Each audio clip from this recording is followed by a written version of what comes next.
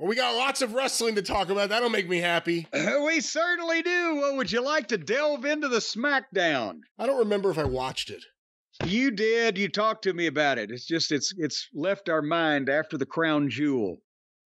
But uh, again, we're not going to go into play by play on any of the matches because they were just there to give you a chance to go up and get a, a sandwich or whatever in between the the monologues or the dialogues. It's either a monologue or a dialogue. If one person is speaking, it's a monologue. If two more are speaking, it's a dialogue. But either way, they pretty much lay the same old log every Friday night, don't they? We get some stars that talk, and then they pesky uh, they they pester us with these pesky wrestling matches in between. And this one was taped. Yes, because they had to fly over there to Saudi Arabia and create a spectacle over there.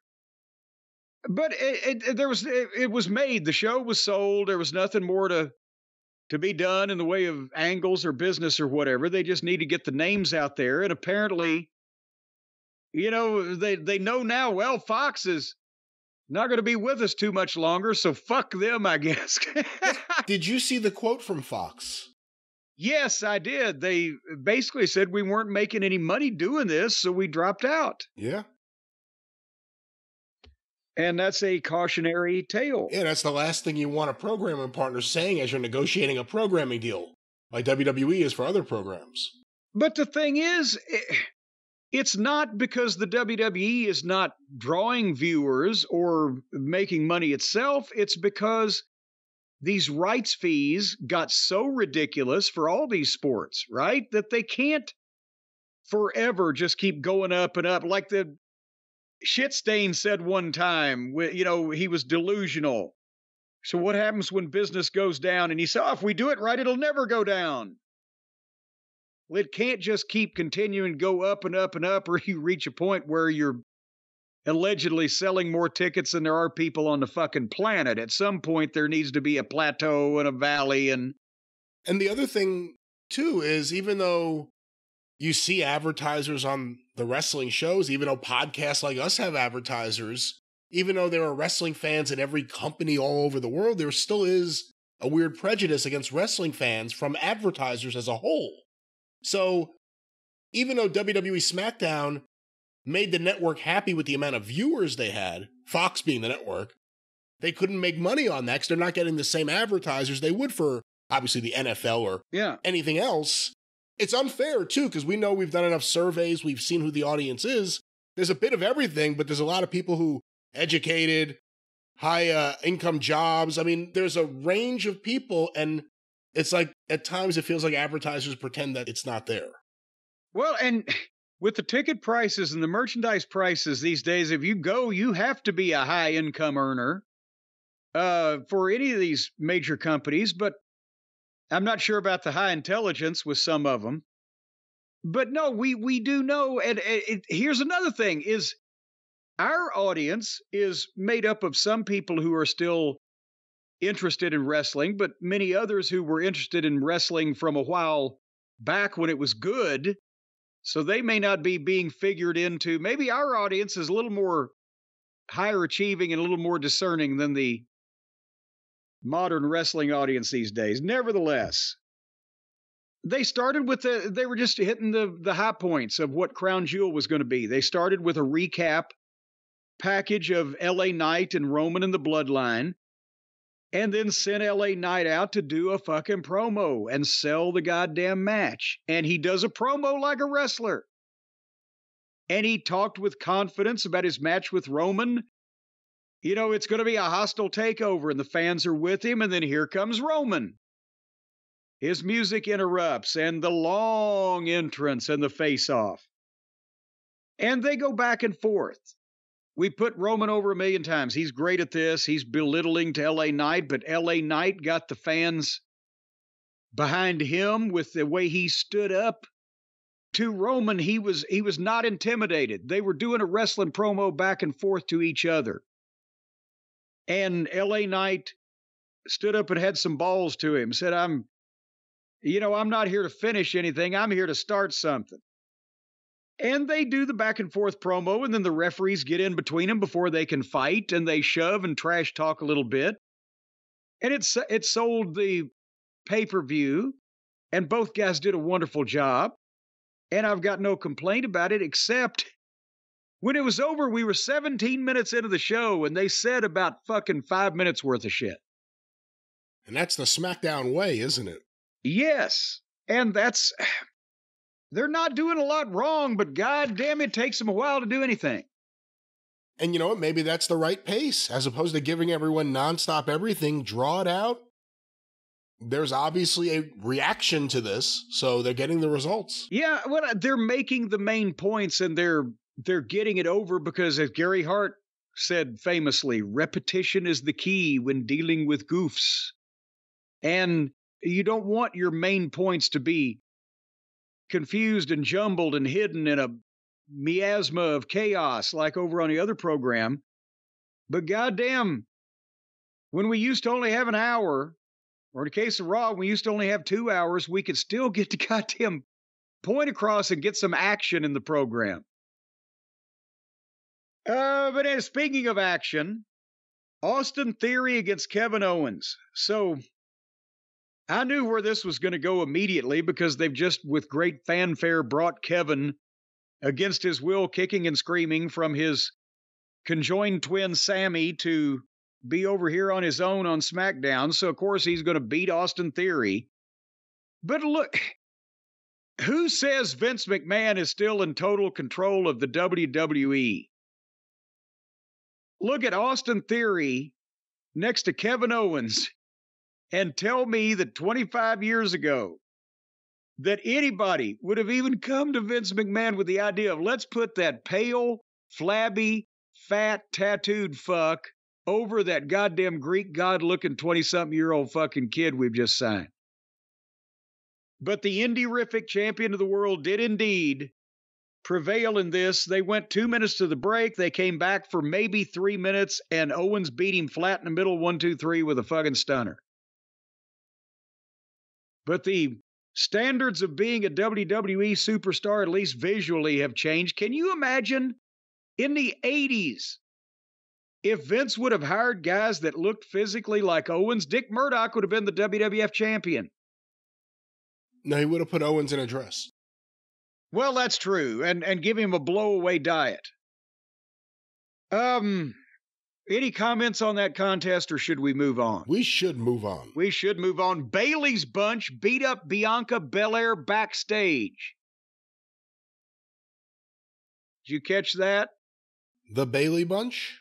The Bayley bunch. They beat up Bianca Belair backstage. It was brutal. I saw the brutal Bayley bunch beatdown backstage. And it was Claude Cooper, the kleptomaniac from Cleveland, who copped the clean copper clappers left in the closet. Cleaning woman Claire Clifford sounded the alarm. Then Bobby Lashley, the Street Profits, and Logan Paul hugged each other.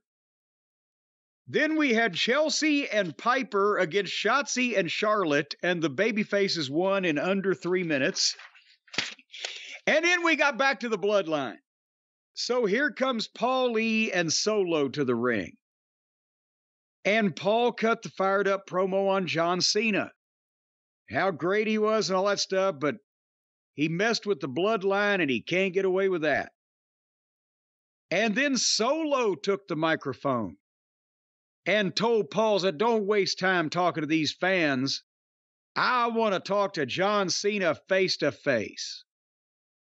And then they play John Cena's music. It's amazing how this happens. Just uh, completely off the cuff and totally off the top of people's asses like this. And John Cena comes out. At least he's got his game face on. He didn't do his whole entrance. He was stoic.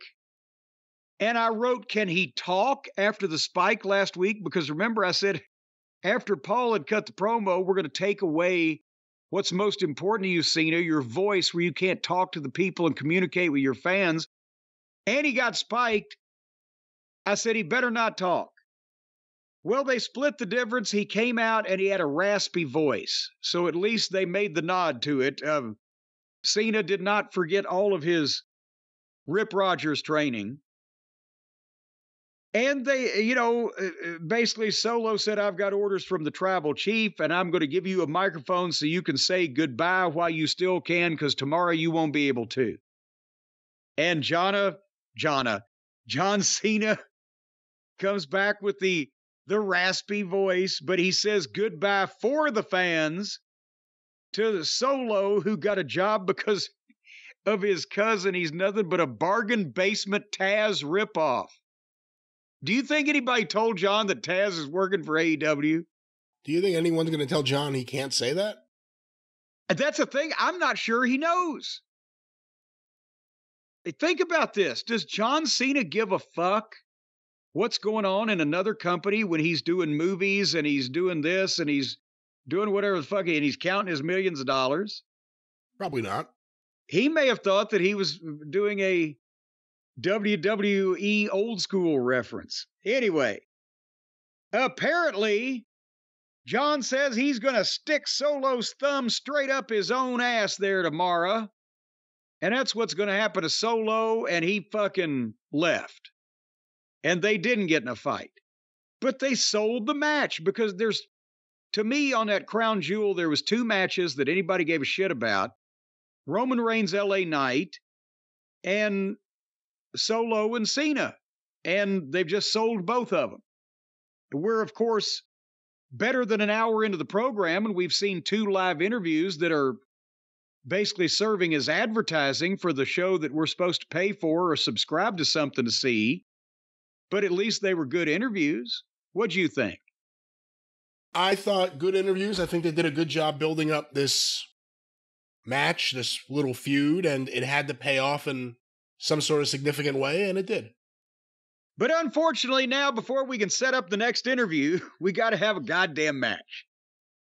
They had a Donnybrook match with no disqualification, lazy booking, between the Brawling Brutes and Purely Dreary. And the Brutes jump started it in the aisleway. They had the ring and ringside set up with tables and beer mugs and beer barrels and knickknacks and paddywhacks. And obviously, I've invoked the purely dreary rule. I wouldn't watch anything they were involved in. Even if they were in my home movies, I would burn them. But for the finish, somebody went through a table. I know you're shocked. I know you're shocked, but that's what happened. Purely deadly, or if you went to AI and said, Well done, this is what would happen. Oh, come on. Rex and Steve looked like goddamn. This is AI Lex, Rex and Steve. Lex Luger and Arnold Schwarzenegger next to these two fucking. Well, we were an hour and a half into the program. So now we got Nick Aldis in the back with Paul Lee, and Paul complimented Nick Aldis's suit and offered some pearls of wisdom. Have a lot of doctors on hand tomorrow for LA Knight. You're going to need them. And then we went to a backstage weigh in because I will, there's another match that had some interest Logan Paul, Rey Mysterio. And they had the backstage weigh in. Apparently, they either thought this might go sideways or they just didn't have enough time. So they put it in the back. And it was allegedly in front of the press conference like uh, you know audience that you kind of see at the bottom of the screen the camera shooting over them but brian is it just is it modern day or do journal real journalists at press conferences take pictures with their phones now still is it they don't have real cameras even the professional well, that, journalists well that happens but let's be honest you have a camera on the phone that's pretty great well, but uh, there, there's. It just doesn't look professional. It looks like a bunch of fans taking their own. If if they're doing a press conference, wouldn't they have actual photographers with real cameras there on the scene to? Maybe. I mean, you don't need it. That's one of those things. Every time you hear like clicks nowadays, you're like, why? Like, why is that happening? It seems inappropriate. What do you want? Like a big flash? Well, that would be a little, you know, guy throws a fucking blanket over his head, and, and the phosphorus goes up. But anyway, so Logan Paul weighed in at 213 pounds. You could say 230 for him and people would believe it. And Rey weighed in at 175. And That's maybe he had rocks in his pocket. And they stepped in for the face off, and Rey slapped Logan Paul, and Logan Paul punched a security guy, and they had to pull apart. And the funniest part of the whole thing was Rey Mysterio bopped Logan Paul on the head with the fucking handheld microphone. That happened at the press conference he had for that boxing match he just had. The guy threw the microphone at him. Oh, did he? Okay. And he busted him open. Yeah. Well, then it would be even funnier if I'd have known that, but it was funny the way he did it. And that was the end of that. So that was that. And then our main event came Bianca versus Bayley. And you may remember that Bayley's bunch beat up Bianca Belair brutally backstage earlier in the evening. A beatdown. It was a beatdown beyond compare. So I wrote main event question mark. No wonder Fox dropped the show. Whatever the finish was, Bianca gave Bayley her finish through the announce desk as we went off the air. It's a, I'm telling you, all the wrestlers should pool their money and buy stock in Home Depot.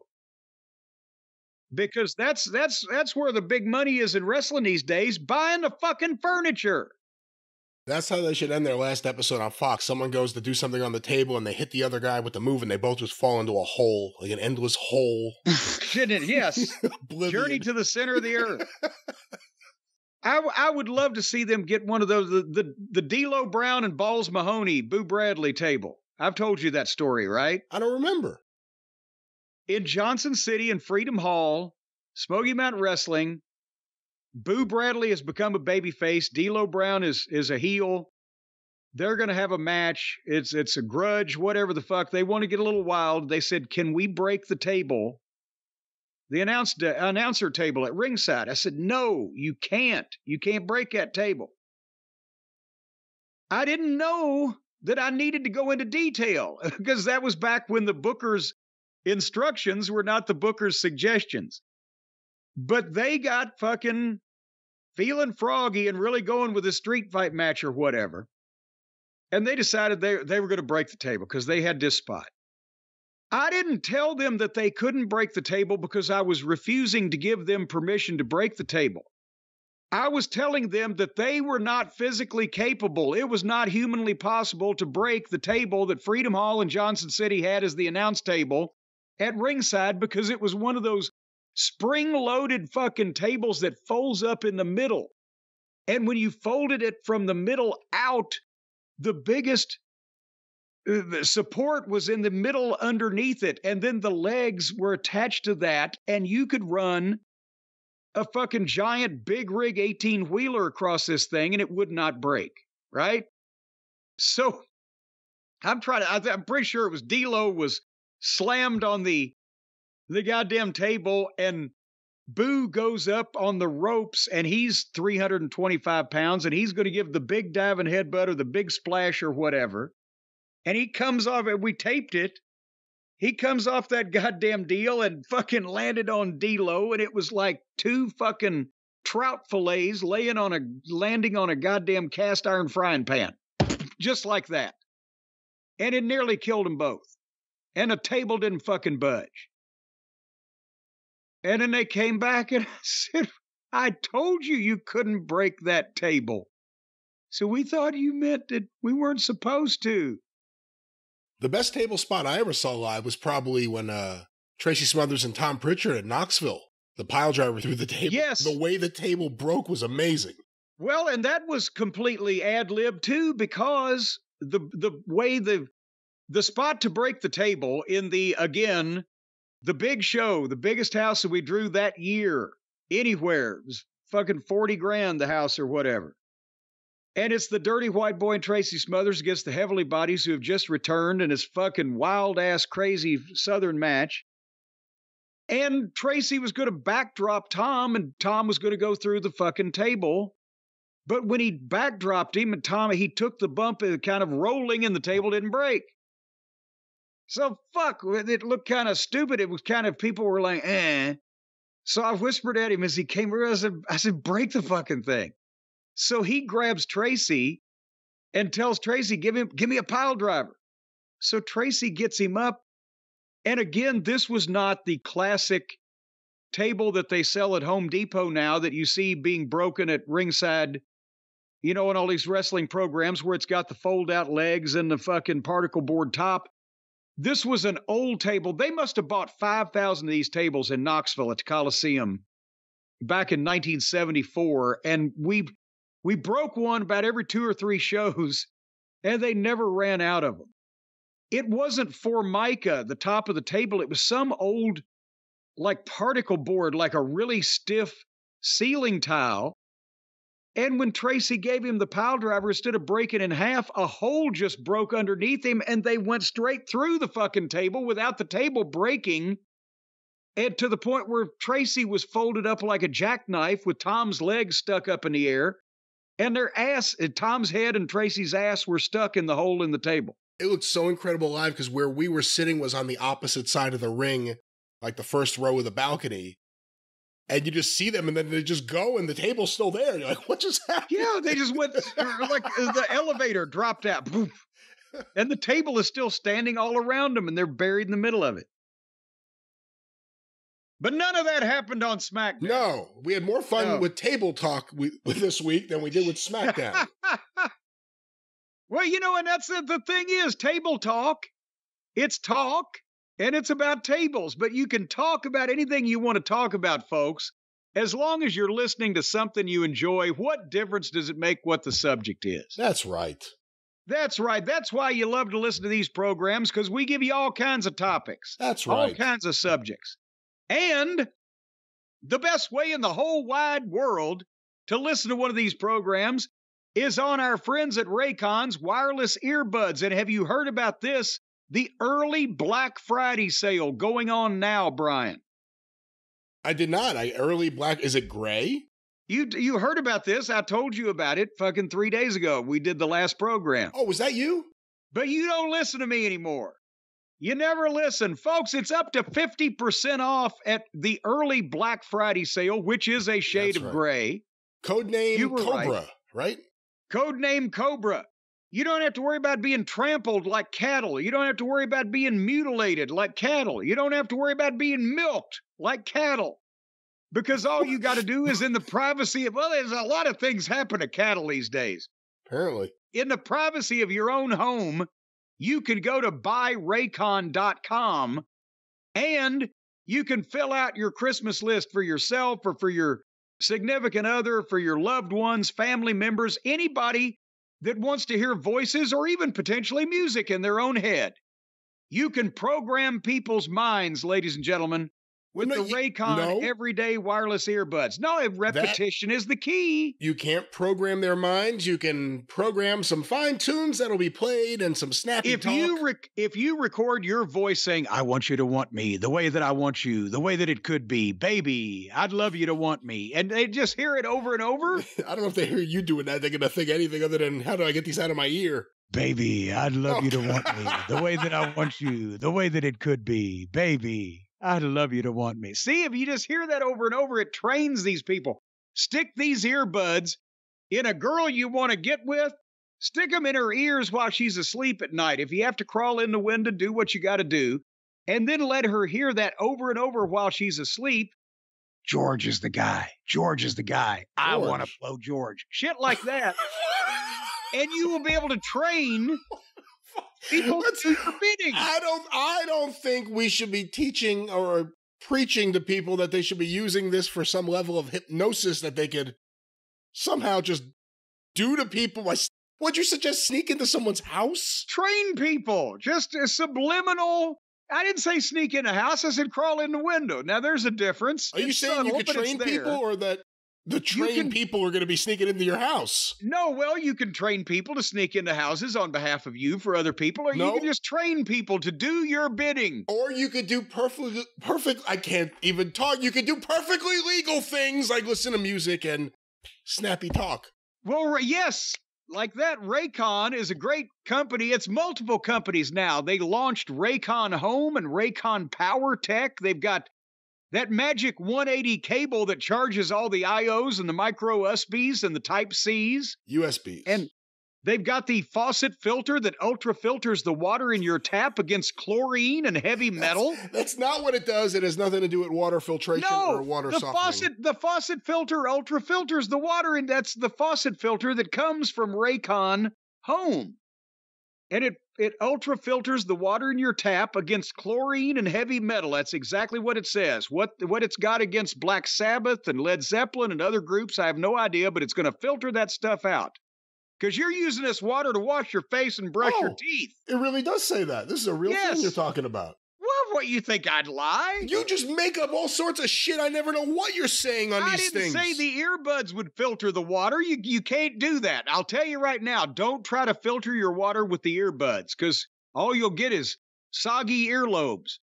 But folks, uh, wha- whatever you want, you want to listen to fine earbuds. You want to drink clean water. You want to charge up various shit you can plug into the Magic 180 cable with. They've got all kinds of things to make your life easier over at Buy Raycon, B U I R A Y C O N, buyraycon.com. And right now, with the early Black Friday sale, which is getting a darker gray as we speak and is headed toward full blackout potential, it's going on right now up to 50% off.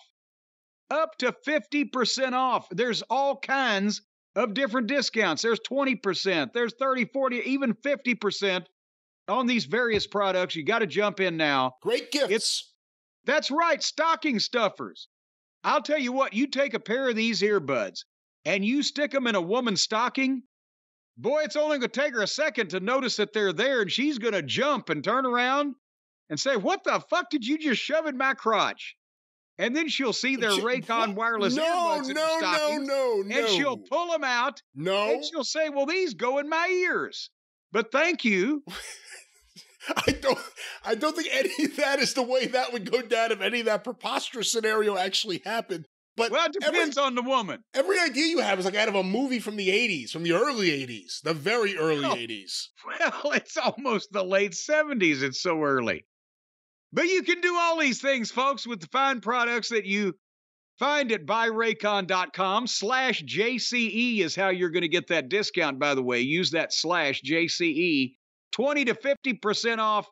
Buyraycon.com slash JCE. Get 20 to 50% off the Raycon products. Many things that you can shove in a woman's undergarments for Christmas this year. No, you could put it where you put your gifts. where the and- sun don't shine. But that's that's a that's a lousy way to look at it. Instead, shove it in mom's stocking. Once again, what's that promo code, Jim? Slash JCE. Does that count as a promo code or is that a slash? Well, buy Raycon.com. you need to get it. Buyraycon. dot- Well, that's not a promo code. That's a website. Buyraycon.com is the website. Slash JCE is how you get the money off, and it's up to you to pick what you want to shove into mom's undergarments. Well, Brian, what in the wide, wide world of sports are you doing over at the Arcadian Vanguard Network this fine week? Another action packed week on the Arcadian Vanguard Podcast Network. Get information about all the shows on Twitter at Super Podcast or on Facebook at facebook.com slash Arcadian Vanguard. Of course, the wrestling news every day. Get your wrestling news for free. Get it directly from the wrestlingnews.com or wherever you find your favorite podcast. Look for Arcadian Vanguard's The Wrestling News for your free daily wrestling newscast. No opinion, no conjecture, just the wrestling news. Also, want to make mention Stick to Wrestling with John McAdam. They continue their look at the fall of 1983 WWF, the fall before the rise of 1984 WWF. Hear it today at McAdamPod.com or look for Stick to Wrestling with John McAdam wherever you find your favorite podcasts. And of course, the 605 Super Podcast, The Mothership! No one's home. I gave a full throated one that time. Go through the archive, 605pod.com. Available wherever you find your favorite podcast, The Mothership. I don't know about full throated, but if you do that again, I'll squeeze your britches full. Good heavens. The slide whistle there. Where, by the way, is there a place different? What are you saying? I said, that's not a slide whistle. This is. That's a slide whistle. Ah, thank you for clarifying that. I have all Is there a whistles. different place that you go to find podcasts you don't like than the place you go to find your favorite podcasts? Uh, no, unless someone's like an idiot and they don't know how to get their shit distributed, and there's plenty of free places to do that. Even I think. But I think there should be a special place for all the podcasts that everybody thinks sucks. And that way you could plug it. You could say, go to the place you go to for all the podcasts you think suck. Well, I wouldn't be saying that about my shows, so I wouldn't be plugging any shows that. Well, no, but that would keep those people out of your shows. If you They'd like shows that the suck, shit that sucks. go to showsuck.com. Yeah, there you uh, copyright that. Apply for that domain, showsthatsuck.com. We could fill that son of a bitch up today alone. today alone. All right, all right.